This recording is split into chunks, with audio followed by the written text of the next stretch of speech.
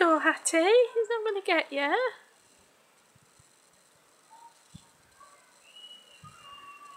Look, he sat really quietly. Don't growling.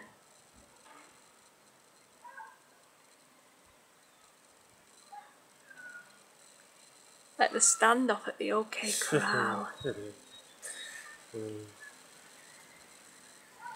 Nigel quick Quickdraw, Wilding, and Hattie Growley Gunslinger. Oh, good girl. I thought you'd have run away. That's a girl. Are you still growling? How can you growl and then sit down and have a wash?